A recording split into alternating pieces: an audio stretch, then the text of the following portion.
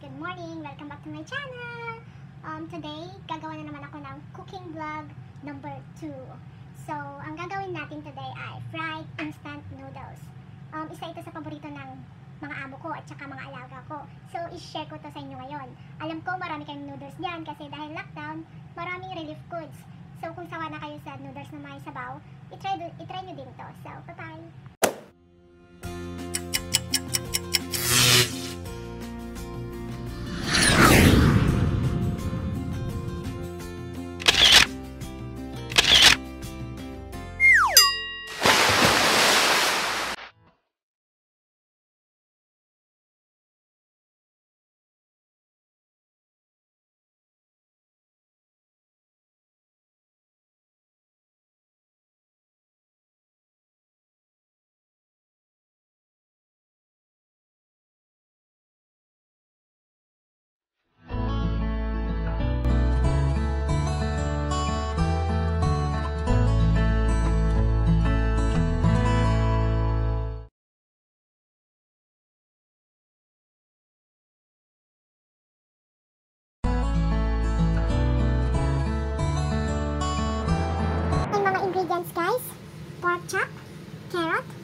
Cabbage, boiled instant noodles, and sauce. For the sauce guys, 2 tablespoon of soy sauce, 1 tablespoon of fish sauce, 1 and a half teaspoon of sugar, 50 ml of water, 2 tablespoon of ketchup, and minced garlic.